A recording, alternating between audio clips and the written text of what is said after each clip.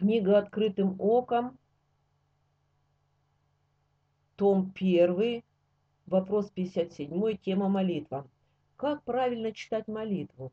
«Господи, прости меня» или «Прости душу мою грешную», отвечает Игнатий Тихонович Лапкин. Человек дуалистичен, состоит из тела и души. Подчеркиваю первичное в человеке – тело, ибо Господь вначале сотворил тело, а потом дал душу бессмертную.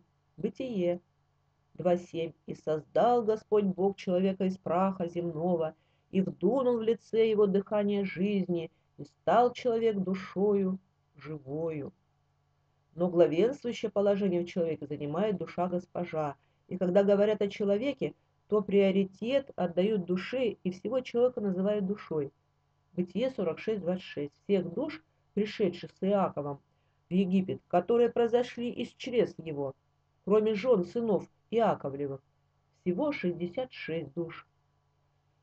Поэтому можно говорить «прости меня» или же «мою душу». Грешит человек с душой и более всего душой.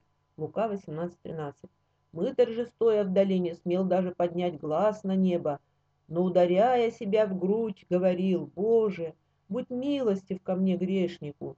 Числа 15.28 и очистит священник душу, сделавшую по ошибке грех пред Господом, и очищена будет, и прощено будет ей.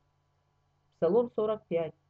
Я сказал, Господи, помилуй меня, исцели душу мою, ибо согрешил я пред Тобою.